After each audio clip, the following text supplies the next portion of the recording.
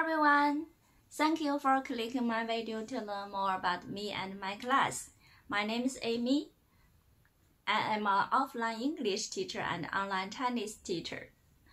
In my spare time, I like cooking, planting flowers or vegetables. 我来自中国. I come from China. I am a native speaker of Mandarin.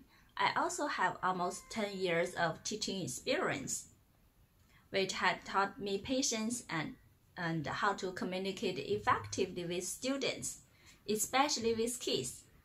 I think that skills are relevant in all the area of teaching. 我会流利的说英语. I can speak English fluently.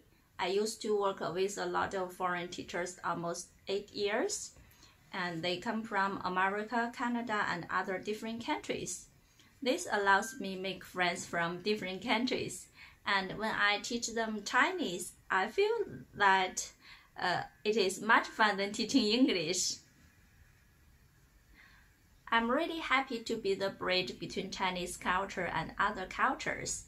So book my class now and let's start learn together. See you soon. 大家好，我是李艳宁。 我是一个有十年教学经验的孩子妈，嗯，在我的课堂上，我很喜欢带着小朋友一起来学，一起来学习新的内容。我们通过游戏互动的方式，很轻松的进行学习。